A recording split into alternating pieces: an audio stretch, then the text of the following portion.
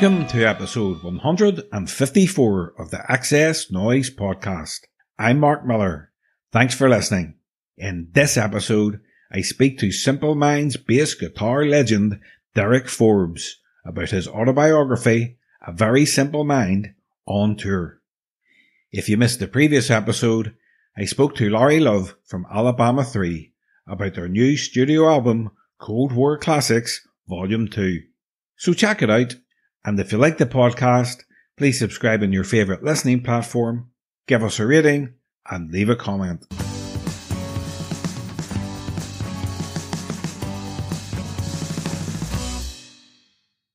Derek Forbes is known for his iconic bass riffs, which we recognise in most Simple Minds songs. Derek co-wrote many of the band's earliest classics. In this interview, Derek talks about how he nearly joined the Navy, the early days of Simple Minds, recording with David Bowie and Iggy Pop, getting sacked by Simple Minds, and lots, lots more. So sit back, relax, and enjoy the XS Noize podcast with Derek Forbes. So, hi, Derek. Welcome to the XS Noize podcast. Thanks very much, Mark. Thank you. You're, you've written your autobiography, A Very Simple Mind on Tour. I read it. Yeah. I really, really enjoyed it. It's very interesting. I laughed out loud at moments. You know, it's a it's a fantastic book. Yeah, that's that's good that you've enjoyed it. So, as I said to you before we started, that uh, I've not even read it yet because I don't know what they've left in and left out. So, is it? I was asked to write sixty thousand words, and I must have ended up with about one hundred and eighty thousand or something like that. Just kept going, and I could have kept going and going and going because it only got to it was to nineteen eighty five is where I was originally planning to stop. And uh, they say, "Oh no, you'll need to tell us what happened after. You need to fill us in with that." So, so it's a it's a précis of that. It's it's not in depth as it were when it gets to the end of the the other years, but it's a good bit anyway. Good. It was a lot of stuff. the pressure, the pressure's off now. The pressure's now doing this. You know what I mean? When and why did you decide did you decide to write it? Well, I've always, since I was, I think I was nine, my grandfather gave me a, a typewriter, and I used to write stories on it, and, and I, d- I did that for years, just writing little stories and poems and all that kind of stuff. And uh, so I was always writing, and then as I got older, I got diaries, and I've started to fill them in, especially when I start, started playing music and signing up to uh, record companies. I, I, I kept a a diary of that. But a lot of it was left out. Sometimes it'd be left out, but I kind of joined the joined the dots. And it's a lot easier when you've got fans writing about I was at this gig and I go, oh right, we were there and we did this and that. Hmm. And it, the book, as you as you know, you've read it. It's not about how did you play that and how did that song come about. No, there's not a lot of that in it. It's more about what we were doing on the way to gigs and after gigs, all that traveling around the world. So I, I always wanted to write a book about uh, that you would pick up in a bookstore or whatever when you were doing a long haul flight. And sometimes I wanted people to see people's shoulders get up and down laughing. You know what I mean? That's what I wanted. I wanted to you know, just take your mind off the flight because we used to do flights that were like thirty. I think it was thirty six hours. It took us once to get to Australia I think that was the first time we went, and we got four hangovers on the on the flight over. So we were all steaming, steaming on the plane, and you weren't allowed out. You maybe you get out. I think it was Bombay before it was Mumbai. We were there, and we get out into the, the actual concourse of the, the airport, but it was just like a a bazaar. You know, it was just like lots of tent tents thing, and people selling things. So that was good, and uh, stopping in Hawaii for a, an hour or so as well, and getting out and feeling the, the heat hitting you, and and just it was magical, really magical. So we, I, I really loved flying. I loved going all over the world doing that. That was the best part it. Not the best part. The best part was actually writing the songs and and getting the albums out and then performing on stage. But but that was the the other thing that you know that I loved about touring and stuff. Yeah, I mean, I was going to ask you about diaries because the book is very, very detailed. Was it an enjoyable experience writing the book and, and having to look back? Sometimes it, it could be a wee bit depressing because I'm not there. I'm not there anymore. You know what I mean? So that I did feel a bit down when I was doing it. I'm saying this is quite difficult, this because it brings out a lot of emotions and whatever. But funny, the funny stuff. I mean, I was writing it, but killing myself laughing at myself what I was writing and whatever. So that was good. And as they say, it's a cathartic getting rid of all the, the baggage that you had before. Because my wife is convinced I've still not recovered from that, which is probably true. you know what I mean? From getting out of the band. And then back in, it was a different scenario. But you're known as a brilliant bass player, but you started out on the lead guitar. And one of the songs you say in the book you mastered was Over the Hills and Far Away by Led Zeppelin, which is one of yeah. my fav- favorite songs of theirs. What intrigued yeah. you to that band and, and to learn their music? Well, my cousin, I've got an older cousin, and he, he introduced Led Zeppelin to me. He must have been about 69 or 70, whatever. Let, let me hear Zeppelin. And I just loved them. I loved it. And then in retrospect, I get into the Yardbirds as well. So there's some great, I mean, brilliant tracks, great songwriters. Uh, but I get into Zeppelin and I saw Zeppelin early in Glasgow at Green's Playhouse. And I didn't think they were that good live when I seen them, but it was just them. It was, it was Zeppelin for me. That was that was they were gods even then. And then I saw them at uh, where was we were in London, the Earls Court, 1975. Saw them there as well. And then with Simple Minds, I met up with Robert Plant, who said he was a fan of the, the, the, band, the band's music. And I could see him when I was on stage. I'm looking up and I'm going, Robert Plant. I just couldn't believe it. So it was great meeting your heroes that way. But that was Zeppelin was big and it was all Jimmy Page stuff that I loved. I loved the guitar playing, so I get into all that. But the first gig I ever done was I was playing the whole of Piledriver by Status Quo. That's what I get into there. So I can learn all their stuff uh, and a few other bands in between. But the music career very nearly never started because you nearly joined the Navy. Oh, I, I know. Oh, but you decided against it because they wouldn't let you play guitar. Oh, I, I, I, did went through the medical, the old, you know, hold, holding the, holding your your arms and, and cough. You know, I went through all that. I had the full medical. Did all the all the questions you asked me. Fine. Says right, you'll be going to. I think it was Portsmouth. They said so. We're going to Portsmouth in September. This was probably about the June or July even. It was close to, to when they said uh, no, it was me. I was I was through. And then he just said to me, the officer said, do you, do you have any hobbies? I says, well, I'm, I'm learning guitar because I'd just been playing guitar. I, I, wasn't that adept at it at that point. And uh, I says, well, I'm learning guitar. And he says, oh, you'll have no time to do that in the Navy. Well, but, but we do have some of the finest brass bands. And I just went, keys up. I'm here. I'm that, that's a wrap. no way am I doing that. I'm not playing guitar. I'm definitely not playing trumpets.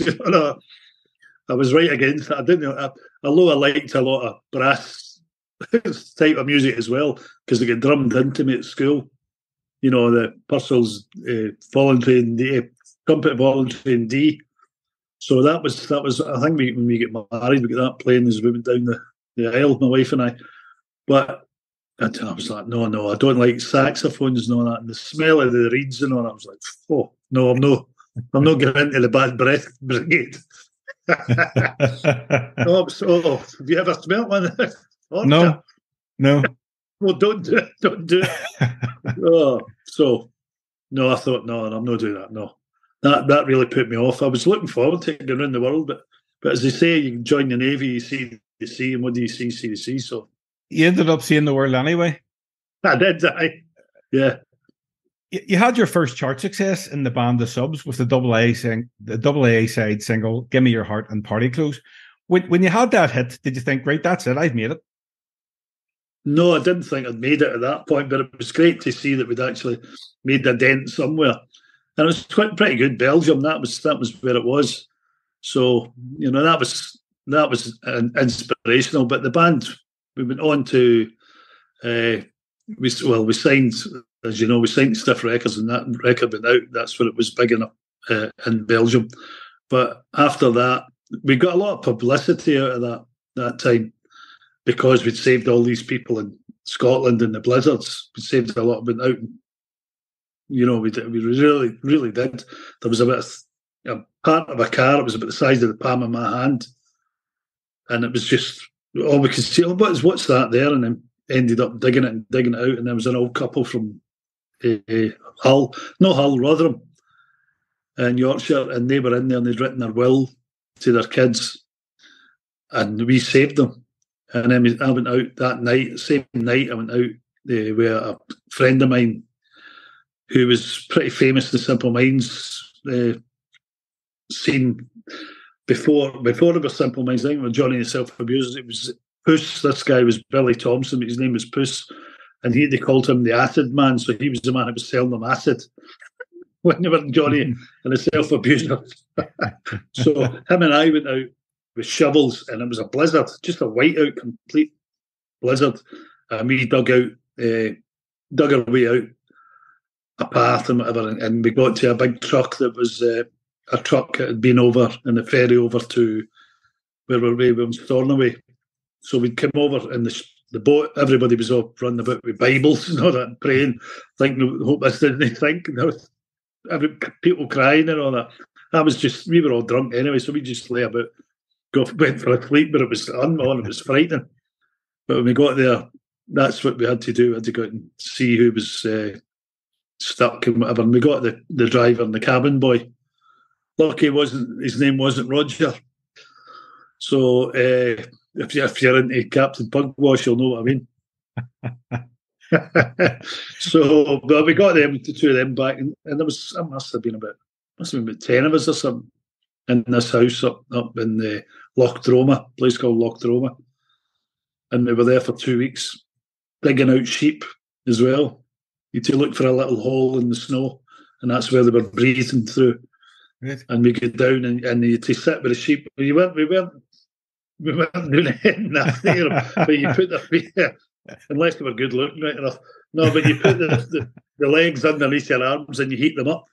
And you yeah. heat them up and then they're, they're away fine but they can last for a couple of weeks under under that. I mean, it was 18 foot drifts snow. They must have been the ones we got. Must have been about 12 foot down or something like that. But we got them out.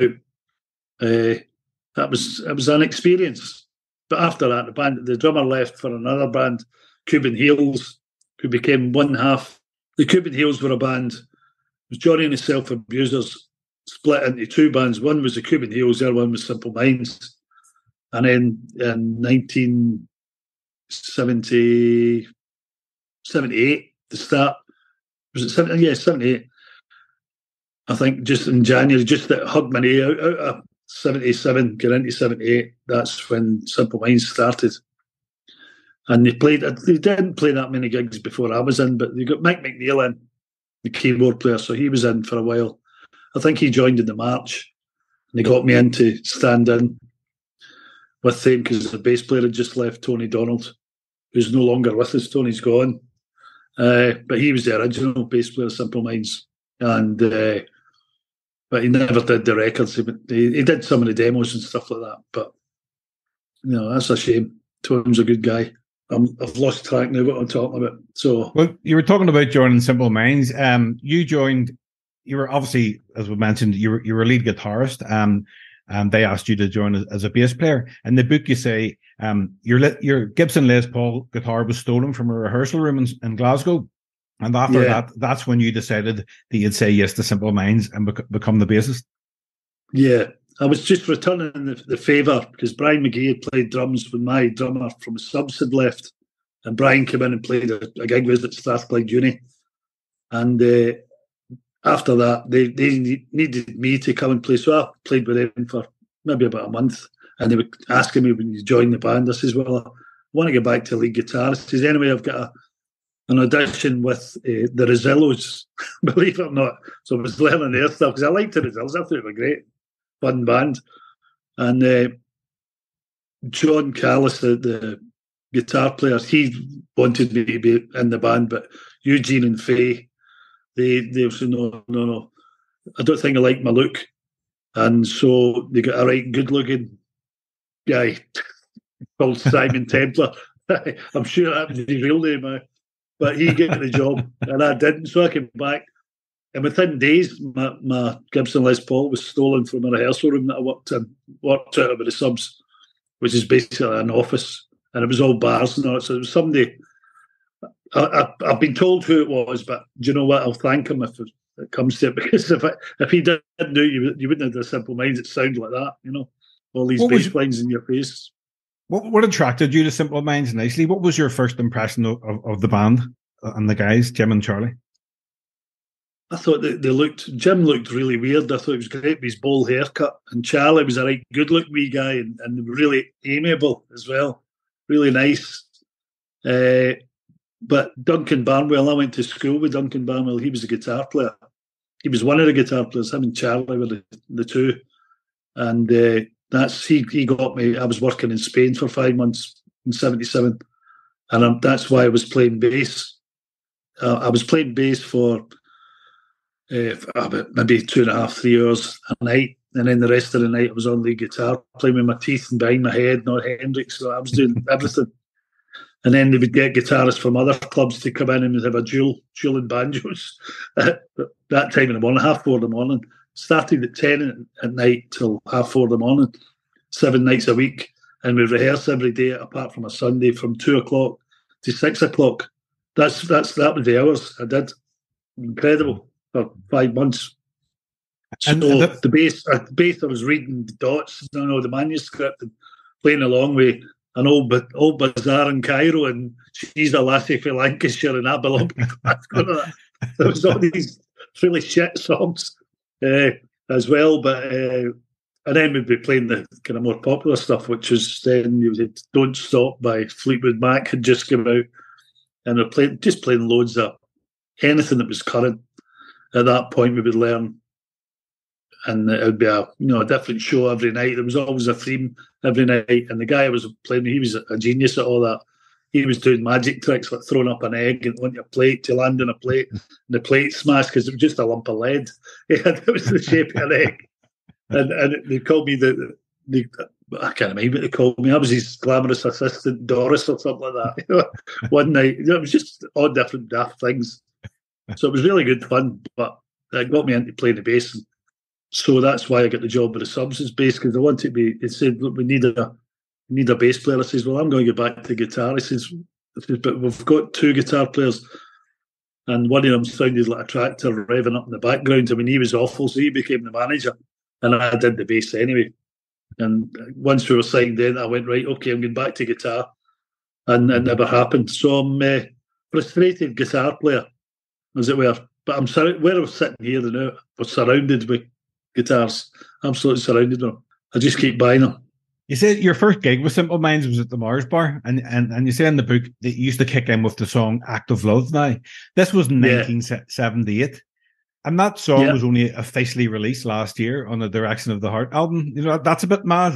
It is mad because they make it sound as if that was a, a new song. We've got a new song for you. It's no new at all. It's the first song I played with them. So, and I liked the song. It should have been on the first album. We never. I don't know why I never put that on the album. Yeah, it's that a great track. Great.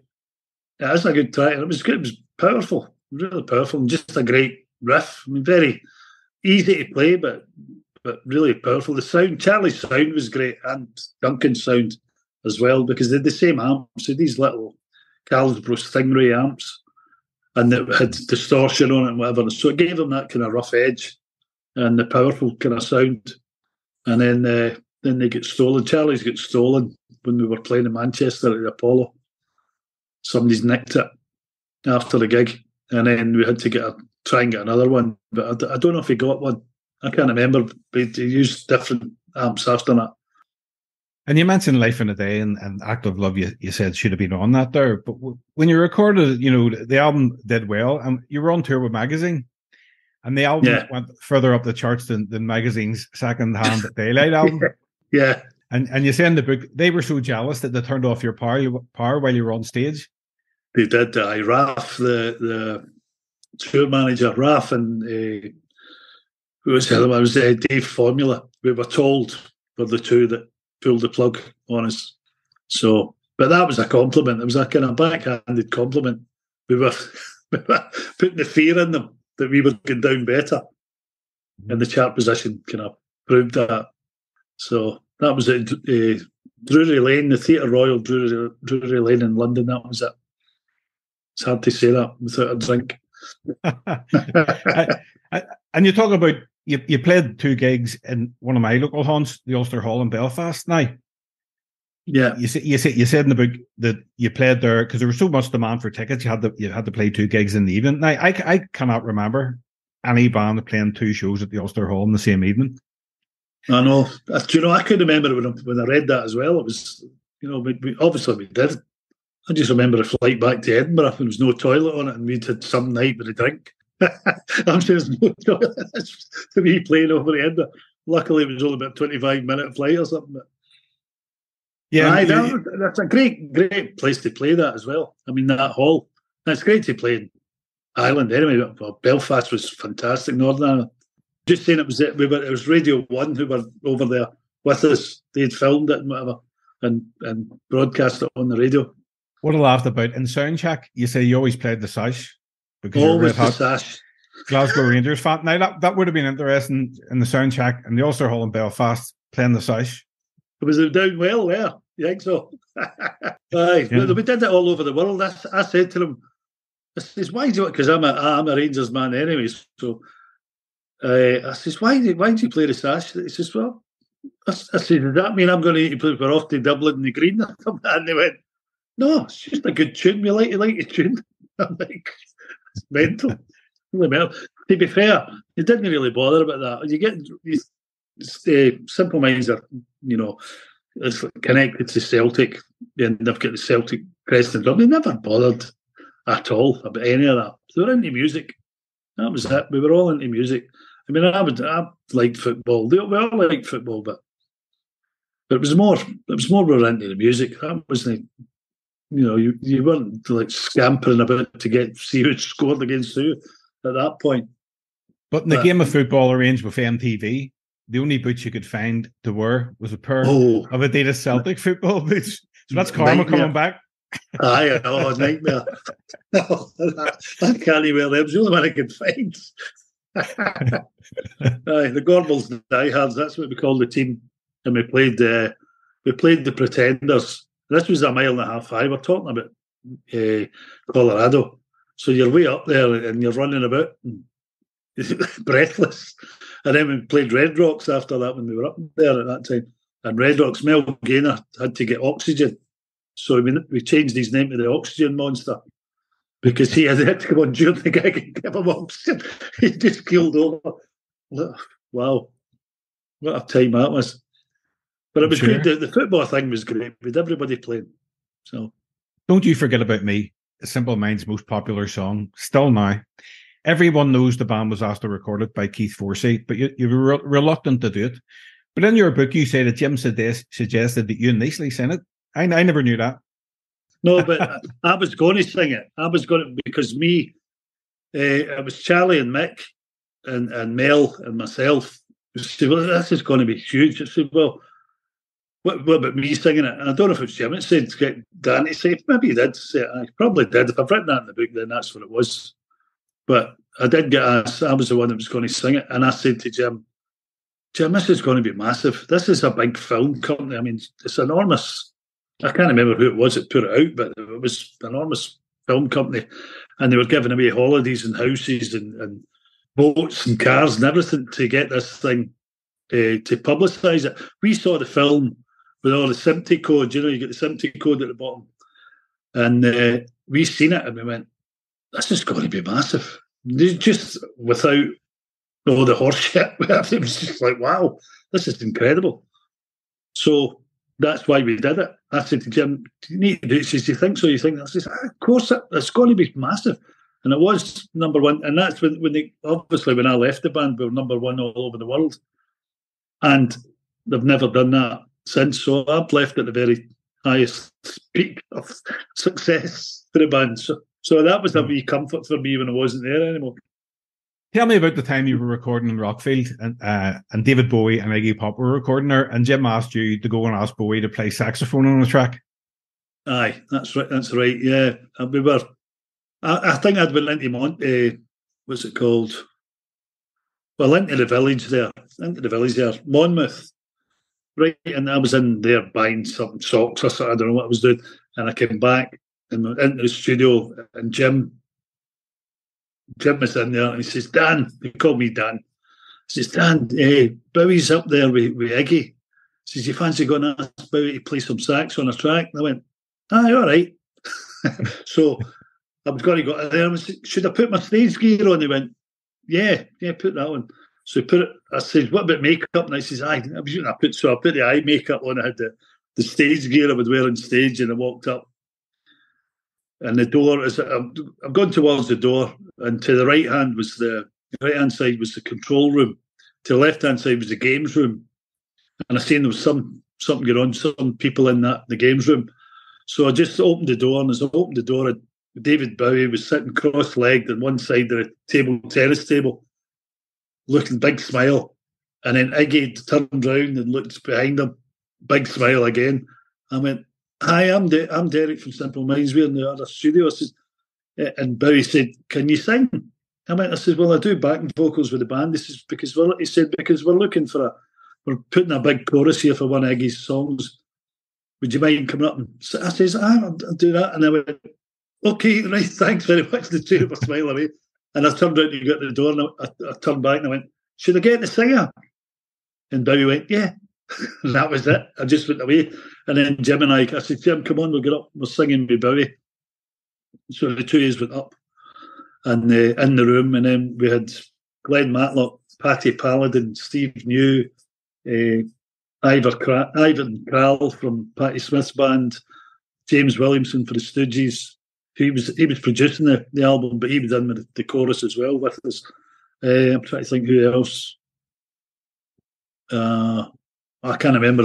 I'm sure it was somebody else as well, but I can't remember. And uh, Bowie was beside me on my right hand side, so I'm, we're singing. He says, "Right," and you can hear it on the record. There, he's going, "Say ta, ta," and he's doing all this stuff. And then he said, What do we have in common? Play it safe. So, what do you have in common? Play it safe. And I was just imitating him. He was right beside me, but he was dancing because it was a thin white Duke at that time. And he's doing that with his hips and he, he's bumping me away from me. he's bumping into me like that. So that was amazing. Absolutely amazing. So we done it. And then the next day they got the, the rest of the guys in, like Charlie Mick and uh, Brian, and got them up to sing as well. So they were on it. Uh, and I sat with Iggy the next day in the studio and he was doing the song Dog Food. Your mom and dad sure made a mess. Your dog food. I think on that album, on the Soldier album. Well, it must have been on the Soldier album, or maybe he didn't do it at all in that. But that was the song he was singing. He said, What do you think of that? What do you think of that? Derek, what do you think of that? And I'm like, That's great, Jim. On you go. it was just me, him, and an engineer just sitting there for, for a couple of hours. And then John Leckie took over. You must have had to really pinch yourself. Oh, aye, I know. I just couldn't believe it. I mean, the guys have idolised for years. Iggy, especially Iggy through uh, school. You know, I was I knew all, all about Iggy then, and uh, I mean, you get the musical, new musical express and the, the record mirror and sounds and whatever it was. We're always in it, and and I, I was a big fan. And you also mentioned about bumping into Paul McCartney in the studio, and you you were able to tell him about uh, your sister Elizabeth having all the early Beatles records. Yeah, yeah. So, well, Charlie and I went up to oversee a remix we were having done, and uh, at that time it was New Gold Dream. It must have been eighty two. Was it? It was eighty two, and and the HMV uh, Piccadilly Circus Piccadilly and we had we were the HMV was there, and these big, enormous blow up photographs of me, Charlie, Jim, and Mick, and uh, Mel. No Mel. I don't remember. I don't think it was big one as a Mel. I think about it, but it was just the four of us, and we had the they were out there, and it's right outside the studio where we were, Air Studios, uh, and uh, we went up there, and Charlie and I were in a in a room. We're going, and we seen your man from uh, what are you called again?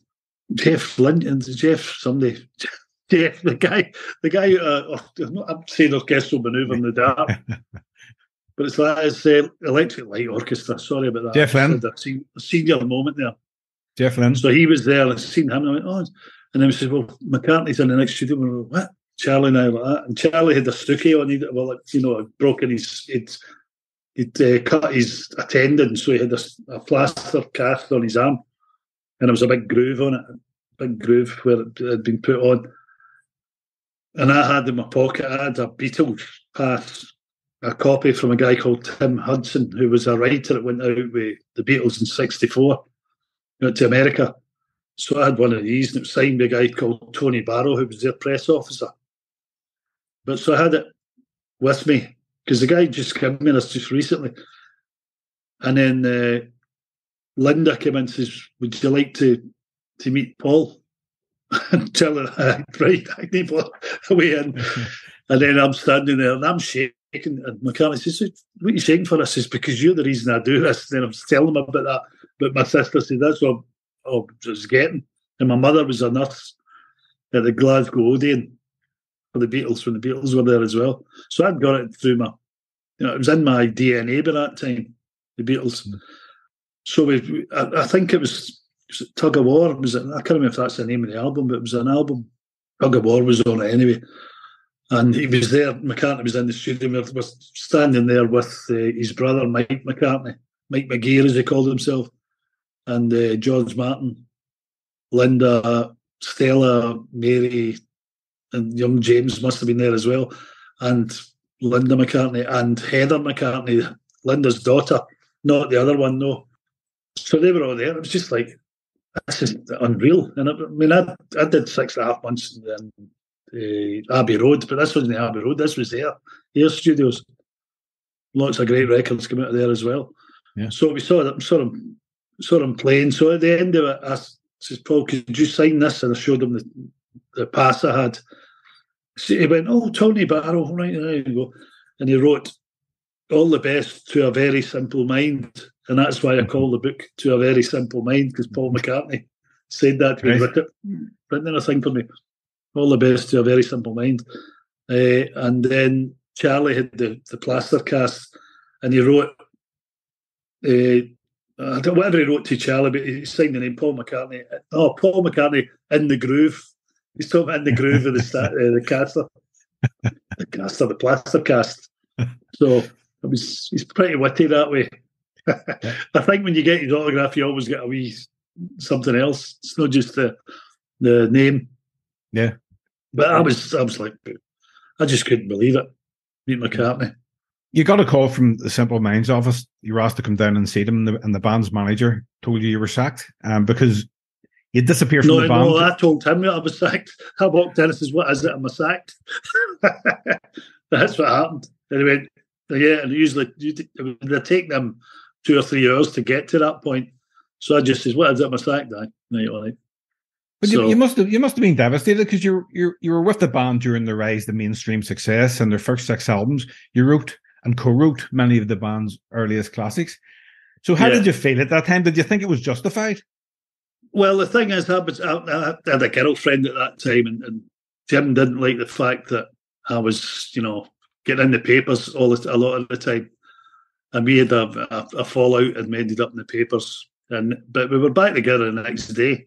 You know what I mean? That's, and that's the whole thing. So, oh no, we're just about to go and do a huge tour. We're just about to go.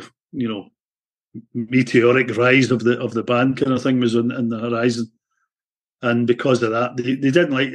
See, I had my Yoko Ono moment where I took her everywhere. I took her all around the world. So I, I was kind of kind of partied for the band, as it were. But it was we weren't as close, and we always had a laugh together. But the thing is, I had my girlfriend with me. It was a, and to be fair, it was a bad move in my part. My part. So I would advise people don't do don't do that. Just go on your work with your with your mates and don't drag other people along because it, it really pissed everybody off. So, but Charlie and Nick were crying in the in the office.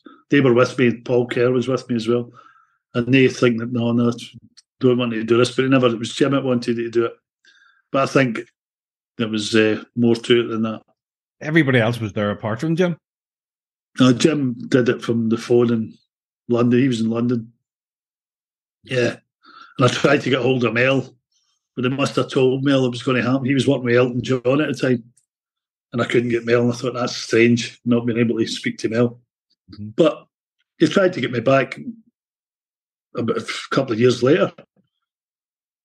No, no, maybe just over, maybe about three years. No, they, they were trying forever. Charlie was always trying to get me back, always. But I was away with propaganda as well. So I joined propaganda a couple of months after. And so I was seven years with them. But I'd been asked to go back to the band. And they were saying that you can write, you'd be a writer, you do it, the whole thing. And I went, and then I went up to hear, Which album was it? Was the Once Upon a Time Street Fighting Years? Street Fighting, the one with Belfast Child on it. Yeah, Street Fighting Years, yeah. And I heard it and I went, nah, it's no, that's not for me. It's not for me. Just didn't, didn't, you know, it wasn't Simple Minds anymore because Once Upon a Time I had been writing on anyway. I was there at that time, but I never get never get acknowledged. And I was on the the Live in the City of Light album as well. To come in to make it sound more like Simple Minds because my big pal John Giblin is. I mean, he was incredible bass player, John. He's gone as well, which is unbelievable. But he was incredible. He came to see me and says, if you don't want me to take this job, I'll then I'll not take it. So it's up to you. It's no John. If anybody's going to take it, rather it be you. So, so he did. Mm-hmm. But that's uh, that's the way it, the cookie crumbles. But I was back again anyway, as you know. The Neapolis album, nineteen ninety eight. Uh, uh, so we like to call it Napolis. Napolis. it was a very underrated album. I quite enjoyed that album. You know, War Babies. Do you know what? Some of it was some of it was great, but they never let me. Well, they never let me do it because I said, look, if I if I play a, a bass note on this and do it, that's writing. And Jim went, "Oh no, no, no, no, no, we don't do it that way anymore." I says, "Well, how do you do it?" He says, "Well, it's just a, a, a session. You do it a session." But they were paying me a wage every week for being there, so I was getting paid for two or three years, four years, whatever it was. I was back with them, but I couldn't help myself. I was with Pete Walsh as well, so Pete was there. Me, Pete, and Charlie were there, and uh, I couldn't help, you know, putting stuff on. I was really working at stuff with drums and whatever and uh, but they brought it all at the mix. They just pulled it in because it was sounding too much like bass heavy again. You know, bass in your face. So I thought I'd love to hear it mixed the way it should be mixed because yeah, there were some you... great songs on it. Yeah, but Charlie did Glitterball and he get the bass and he strummed it. He just was strumming the bass. I'm going. But then, so when I when I actually got it for doing live, playing live, I, I really pumped it up. So it was really pumping hard and aggressive. Whereas it was just a strong bass. It was like, you know, just, just I think uh, nothing like what I would do anyway. Nothing like a bass player would do. I, I, I formed a wee painting company. I was a painter decorator, believe it or not. All through this, a couple of cunts. A couple of cunts, a couple of cunts, yeah. So that was great. It was people. That's one where the shoulders got up. Somebody reading it. We used to put posters up in the window, and we're not cowboys. And we'd come back, we'd get the paint all over our face like that. We're not cowboys. we're like Native Americans standing there, looking, and you see people reading it, and then they read something. Mrs. Tea drinking champions of 1973 or something like that. They would say. Mrs. T from rather Huddersfield. I've never been so disappointed in my life job these guys left. No, it was just like these things he got, it was all different people, Mrs. T, Mister Mister P, and all that. So we used to do that, and then you just see people coming up and reading, oh, oh, and then it's like that. They're just laughing, you know. That was great fun. The guy, the guy I worked with was an absolute nutcase. We used to write songs over. We do overnight stuff. We would we go in and do coffee shops, and it had to be done for them opening up the next day for people coming in that was great. That was great fun. Good laugh. I, but, I nearly uh, fell off mature when I read that. I mean, that's some some people saying it. So what are you going to do about the about the room? I said, you're going to. I said, I've just got a couple of cuts in to paint it. You know what I mean? It's just something you say up here. Probably the same in Ireland, I would think, as well. Northern Ireland, Northern Ireland. Yeah, there was one thing um, actually that I hadn't heard in, in years when you're you're having your piece. Oh, my piece. Your lunch. I would say lunch, that a piece. Aye, a piece. Aye. cheese in your piece. Aye, wee guy used to say that to me all the time. What, what have you got? I was deaf, and you go, What have you got in your piece? Cheese? Are you a fucking moose? he used to shout that at me every day. It's like, aye. I haven't fun. heard that in ages. Aye. and and your auntie June, who was engaged to a famous Glasgow banjo player.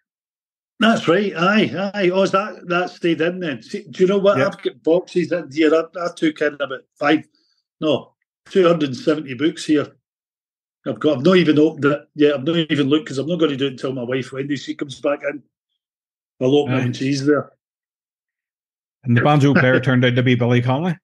Aye, aye. Slept in my grandmother's bed with my uncle John. The two of them, slept. They were pissed. It was his stag night and they had to go and get some hash for Iris, who was Billy's wife uh, at the time. And they, they were just they'd just been out for that, and they'd been for stag night, got all pissed on because Uncle John obviously married June, Billy's ex. Uh, no, but they stayed pals forever. They were he was always coming up to the house. I met him a, a few times, Billy. What are your five favourite Simple Minds songs you've worked on? five favourite ones. Uh, this Fear of Gods. The American was a strange one. When I wrote that, I was like wondering whether it was it was good, good enough. Uh, but it's really powerful. And it's, it's and it's strange. And I had John Leckie up with me and and Brian McGee up at Mick's house in on Barra or Battersea, and uh, John had never seen that because that was after after him. She did the first three albums, and when he's seen me going, you know, playing with the plectrum and then uh, playing, you know, popping and whatever, he couldn't believe it. So that was one of my favourite ones to play as well. Because I mean, that's one that the minds like they always talk about the Bonanza version. I'm just going dun, dun, dun, dun, dun, dun, dun, dun, dun, dun, dun. but it, it, just builds up. Jim's naming all these American towns and stuff. So that's one of the most popular ones. But that, uh, this Fear of God's, Sweat in Bullet, for the bass line, and I like uh, King is White as well. King is White and in the crowd, I like that for it, and somebody up there likes you. So there's quite a few fretless ones in there. Yeah, because that again, that was being the lead guitar player, a board lead guitar player, so I had to get different things to do. So it was easy to express myself on a a fretless bass because you can. There's more notes in a fretless bass because you just move them all over the place. Uh, I think. Well, I travel's great as well, isn't it? Yeah. There's too many. I can't. I can't limit it to five. There's too many. From the early days, from the first album, uh, Pleasantly Disturbed. I love that. It's an amazing track. Aye, that was just Jim and Charlie wrote that. That was nothing to do with me. But I, I did all the stuff, all the orchestration stuff was me. It's the the the orchestra would play the all the bass parts I was doing all that kind of stuff. There's loads of that. I did all that in the bass because because we never had strings there doing that. What uh, what Simple Minds album did you enjoy working on the most?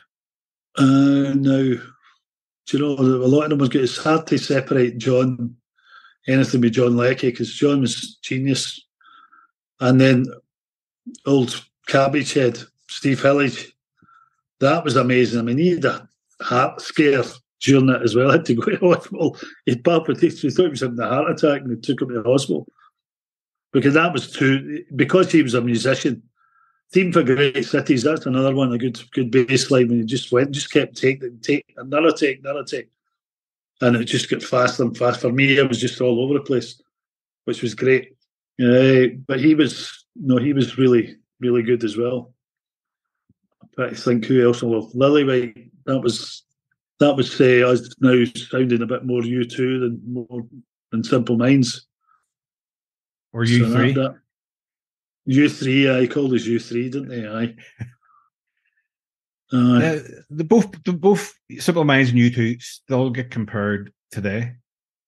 Yeah, in the sound, which is mad because I, I remember the first the first time we met was at Torhout and Werchter. We did the festival, and one night U2 went on first, or last before Peter Gabriel because Peter Peter was doing the he was headlining them. So U2 went on before Peter, and then the next night we went on before Peter, and so U2 were on before us. So we watched them, they watched us, and then suddenly, U2 they kind of calmed it down a wee bit and started to be more static a bits. And whereas we started to jump about, so we were taking something for them, they were taking something for us. It was very obvious to us. You know, they've seen us because we used to just stand and just dance in the spot, or just I had this move and just do. You know, people couldn't, drummers couldn't believe it. How did, how do you stay in time with doing all that? Because I'm, I don't know, I, I, would do moves. I'd be rocking about doing this to, to a groove that was going on that had absolutely no. It just looked like I was listening to something else. There probably was. Very if, strange. If, if if you could go back and relive one musical moment from your career, what would it be? One musical moment. Uh, well, I would like not to trip on stage when uh, Olivia Newton-John's looking at me. That would that would help. Uh, and because I went on stage and I went, Olivia Newton-John tripped over the cables for the lights, and we had the smoke, and I just could stop at that, and I stood the time going, "You plonker, you absolute tosser!" standing still and just didn't move at all. I was just like, no, no, and I could see her. And I was like, oh, that was embarrassing. But uh, trying to be all cool. but then, but then you also you also said you kept she was standing outside your dressing room while you were having a for an hour. We were having a post mortem, yeah. so we never met met her. I'd have been chatting away to her like mad, knowing me. So I'm trying to think on stage for something. Well, it'd be good to get to a toilet before I went on that one in uh, in Belgium in Liège. That would have been a good moment. If, if I could relive that moment, I would have went to the toilet before when I left the restaurant. yeah, you, you handed the bass guitar to Jim, didn't you? And then you just and he's swinging it around his head, going like, "Shitey, shitey." but it was all right. I was, I was fine. I mean, I was I was the only one who Eh, a superb a lady friend after that that night. I couldn't believe it. Just like, of course, I was cleaned up by that time. Simple Minds are still around touring, making new music. If if the call came again from Jim and Charlie to do something, would you take them up on it? I think it would only be polite to do. I, would I would do it with it with as long as Mick was there and Brian. I don't think I don't think it should go. I love Mel to bits. Don't get me wrong. Mel is great. He's a powerhouse, but all that early stuff with Simple Minds, Brian had a hell of a lot to do with it. If he didn't start doing no premonition and all that and starting playing all these beats and boys from Brazil or, or eh, Brian was great for all that. Brian was just steady powerful, steady, musical. He was very musical. Mel, Mel's a genius. Mel does things that you, you wouldn't believe, but sometimes in a song, it's not really about that. Shouldn't that shouldn't matter. But Brian was just like let me doing it. He'd get a groove, and that would be it right through, and uh, that was perfect for the band. Then that's when we were most creative. Sons and Fascination, New Gold Dream as well. That was that was all written by Mick myself, Charlie, and Jim. There's only four of us that wrote that, and that was incredible and great, great work with Pete Walsh producing it. I mean, it, really is a standout album. Yeah, it's great. Have you have you heard the latest release, the, the new live version of it? No, I wouldn't. I wouldn't thank you for it. Probably, I can't imagine it being anywhere near the original. That was yeah, a great moment doing doing that. That musical moment was I had Mike Ogletree, the drummer on one side, Mel Gaynor, facing each other, two drum kits, me in the middle, and then there was like percussion going on, and me playing the bass, and that was just that was a moment. That was actually standing there, me playing the bass, keeping them right. This is the, the arrangement, and the two of them looking at each other, boom, boom, boom, boom, boom, boom, boom. Just a cacophony, proper to use a simple mind. real to real cacophony. But it was, it really was, it was just magical. Incredible. Yeah, it's, the kick inside of me, that that track, the kick inside of me, if you know that one, where I'm, I'm just battering them, mm. and my thumb just exploded. You know, I kept going.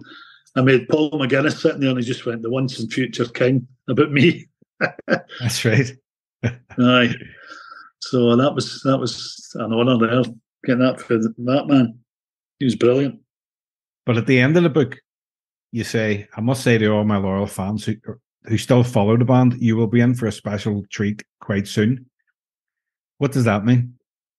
I, it'll be the Mick and Brian and myself getting something. This this documentary will come out, and that's telling stories as well between the three. It's great when there's there's more than one telling a story because they'll come in, it comes in and out, and they'll remind me of something, and it's all prompts. It prompts you, and they'll is playing, and you want to hear. It's just simple minds. It just the three is playing together.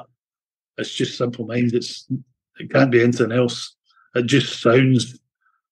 I mean, we'd blow them out the water. To be honest with you, aye, we would definitely blow them out the water. Just, just playing together. Okay, because I read into that there, you probably would be joining back up with the band again. Although there's about twenty in the band now. Ah, uh, no, I, I know I've got this X ex simple ex simple minds site or whatever, and you're thinking, who, who, you know, they've not done it, and this, and they're using different writers as well. They could have asked me to write along with Mick and even Brian. We could have written stuff for them for the years and just done it. We're no there. They've got their wish there away doing their, their stuff, and we could have been writing for them. Madness. Madness. That would be amazing if you did doing it. Aye. Well, we'll see what happens. Well, no, I'm not dead yet. I'm not, not far away from it, but I'm not dead yet. Uh, well, Derek, your book signing tour starts eh, on the 9th of November at Goldsborough Books in London. Now, that will be yeah. a very different kind of tour for you. So, how much are you looking forward to that? Um, uh, it's a good laxative, as, as we say. So, if they play some stuff, so uh, as well, and some of them, some of them, but Goldsborough is just a siding thing, and then I go to Rough Trade and I do, I do a bit of uh, interview or, or, or answer questions, whatever, and then, then I sign and, and then I play a wee bit. So I don't know what I'm going to play. So I'm practicing a wee bit just now. I, I shouldn't be doing that. I don't think I should be doing that. It's just that's what they've got me doing. Because if I'm playing acoustic guitar, it's not playing bass. You know mm. what I mean? So, but I'm going to take a bass with me as well, so I can say things like Waterfront, how it was it came about. Because everybody thinks Waterfront's only one note, but it's not the whole the whole fretless thing that I mean the whole melody was all me. That's what I gave them. I think it was the day before we went to Phoenix Park to play with U2. And your girlfriend's flat, wasn't it? You're you're you're initially with that. Aye, aye. I was in the bedroom. I just I had a an amp that had a a sampler on it, but it was only about a quarter a second or something. It was like a quarter a second or one point, whatever it was. It wasn't much anyway. And uh, I just went do do, and and as I pressed it, it came back do do do do do do do and then I went eh, do do do do all that. I did all that, and then all the slapping bits in it, and uh, bum ding, and all the harmonics and stuff. So, so that was it. And then Jim did his bit with uh, lyrics and all that. He said he'd, he'd, written lyrics about. I thought it was about Andy Stewart, to be honest with you. It was about uh, Scottish come in, come out of the rain, winking and all, all that stuff, you know. That's fuck me, he's ruined it. No, but oh, it's just brilliant. That's that's my most status quo dates, isn't it? Just going do it, do it, do it, whatever you want, do it, do it. no, it can be anything like that, but it's just it was just the way we the, the treatment we gave it that, that made it what it is. And yeah, and then you went on, and as you say, right to say, next day in Phoenix Park, supporting U2 was the first time people heard it.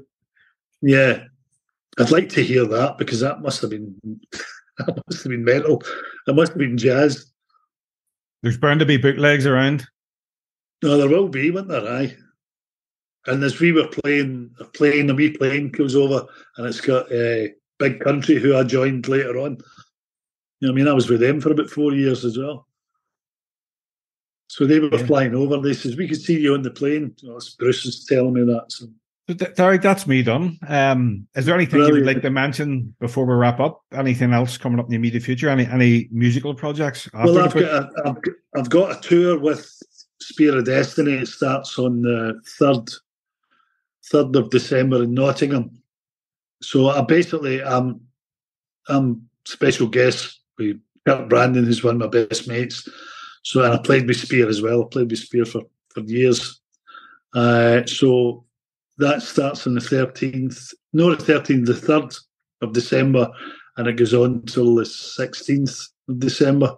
And we're playing all over. We're playing London, we're playing Nottingham, we're playing York, we're playing Glasgow, Ed, Edinburgh, Aberdeen, Newcastle upon Tyne, Newcastle under Lyme, Bedford. Uh, I'm trying to think where else, Manchester, Liverpool. So we're all over the place with that. That's December. So the start of December up to a week before Christmas. Well, Derek, it's been an absolute pleasure talking to you. Um, as I said, yeah. a very simple mind on tour is a very enjoyable read. It's very interesting and laugh out loud funny. Uh, and, and I wish you all the best with it. Thanks very much. Cheers, Matt.